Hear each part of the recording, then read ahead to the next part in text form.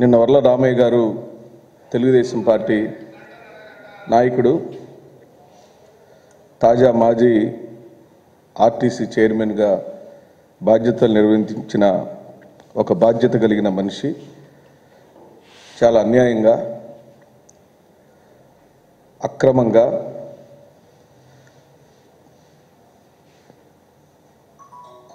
ఒక దొంగ సవాలు విసిరాడు. ఆ సవాల్ని మీ పూర్తిగా వైఎస్ఆర్ కాంగ్రెస్ పార్టీ స్వీకరిస్తుంది.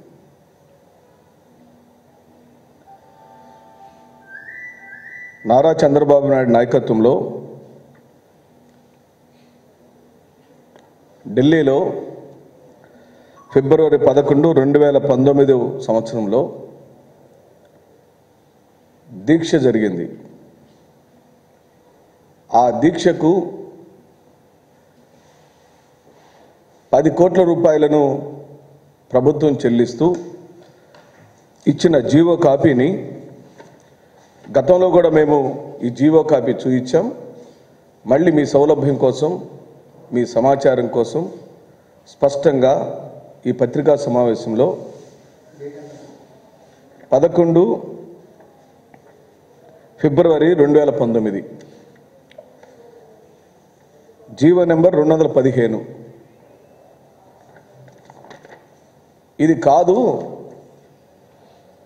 ఒక కోటి రూపాయలు మాత్రమే ఖర్చు అయింది కావాలంటే నేను నిరూపిస్తాను సెక్రటేరియట్కి వస్తాను అని మా పేర్ని నాని గారి మీద సమాచార శాఖ మంత్రివర్యుల పైన అవాకులు చవాకులు పేలాడు. ఎస్ రామయ్య నువ్వు ఒకసారి ఎమ్మెల్యే అయ్యావో లేదో నాకు తెలియదు అయ్యాడా? నేను శాసనసభ్యుడిగా నీకు సవాల్ విసురుతున్నాం పత్రికా ముఖంగా. నీకు దమ్ముంటే నీ దగ్గర కలేజా ఉంటే నారా చంద్రబాబు నాయుడు నాయకత్వాన్ని పూర్తిగా నువ్వు ఆమోదిస్తున్నావు కాబట్టి ఆయన వెనకేసుకొస్తున్నావు కాబట్టి నువ్వు రా. ఈ ఒక్క సమాచారంతో తెలుగుదేశం పార్టీ అసత్యాలను గత ఐదు సంవత్సరాల నుంచి ఎలా విచ్చలవిడిగా ప్రజల మధ్యలో ఏ విధంగా దుష్ప్రచారాలు చేస్తుందో జరిగిన నేరాలను ఘోరాలను ఎలా కప్పిపుచ్చాలనే కార్యక్రమం జరుగుతుందో నేను నిరూపిస్తానని ఈ పత్రికాముఖంగా కోరుతున్నా. మీ అందరికీ కూడా మనవి చేస్తున్నాను. తెలుగుదేశం పార్టీ హయాంలో ప్రజాధనాన్ని ఎంత దుర్వినియోగం చేయబడింది అని చెప్పడానికి ఇదిగో ఈ జీవో నెంబర్ రెండు వందల పదిహేను ఉదాహరణ. నేను స్పష్టంగా చదువుతాను order. One day deeksha protest in Delhi on eleventh two two thousand nineteen by honourable chief minister for arrangements of trains for providing transportation of participants from different regions of Andhra Pradesh what nonsense ఏంటిది? పది కోట్ల రూపాయలు release చేస్తున్న నీ ప్రభుత్వం ఇచ్చిన జీవోని. కోటి రూపాయల కింద చూపించే కార్యక్రమం. ఇంకా దగులుబాజీ వ్యాఖ్యలు. దుర్మార్గపు వ్యాఖ్యలు. నోరుంది కదా అని అడ్డగోలుగా మాట్లాడే మాటలు.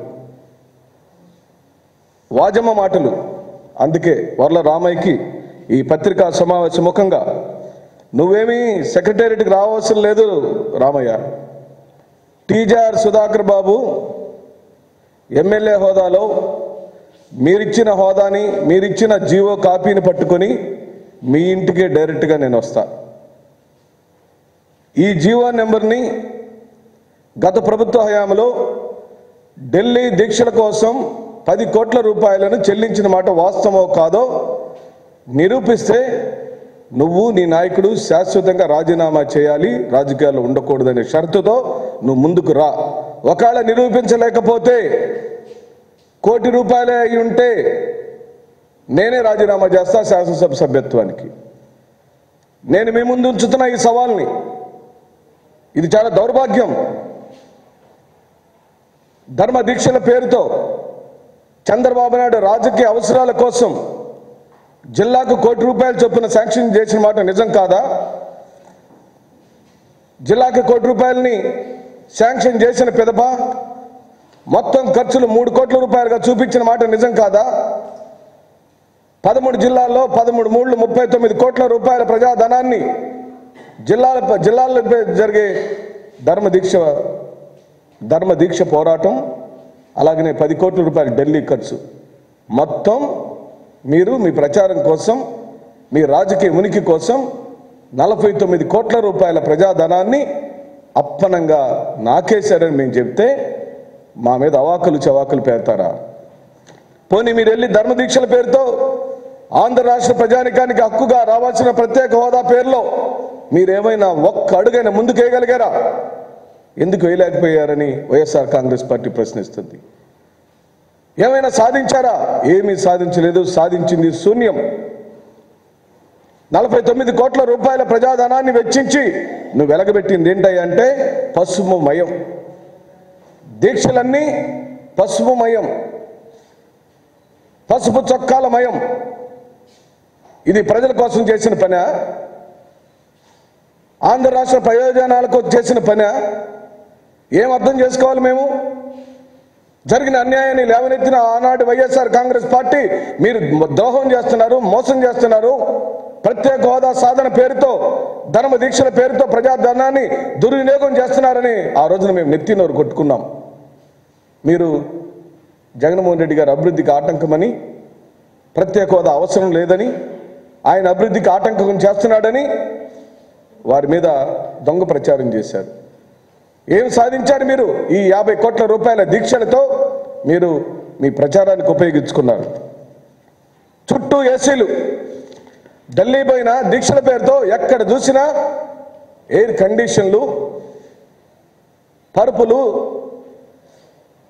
మీరు మీ పార్టీకి సంబంధించిన ప్రచారానికి మాత్రమే ఈ యాభై కోట్ల రూపాయలను వాడుకున్నారనేది నగ్న సత్యమని రేపు జరిగే చర్చల్లో వర్ల రామయ్యకి నేను నిరూపిస్తాను. దయచేసి వర్ల రామయ్య తన సవాల్ మీదే ఉండమని అది సచివాలయం కాదు మీ ఇల్లుగానే నిర్ణయించుకోనమని. ఎందుకంటే సచివాలయంకి నువ్వు నేను వెళ్తే అల్లే అక్కడ మళ్ళీ ప్రజా సమస్యలు వస్తాయి. సచివాలయానికి ప్రజల యొక్క అవసరార్థం వాళ్ళ సమస్యల మీద వచ్చే వాళ్ళకి ఆటంకం కలుగుతుంది కాబట్టి నేనే వస్తాను నువ్వు ముందుకు రమ్మని ఈ సందర్భంగా అడుగుతూ.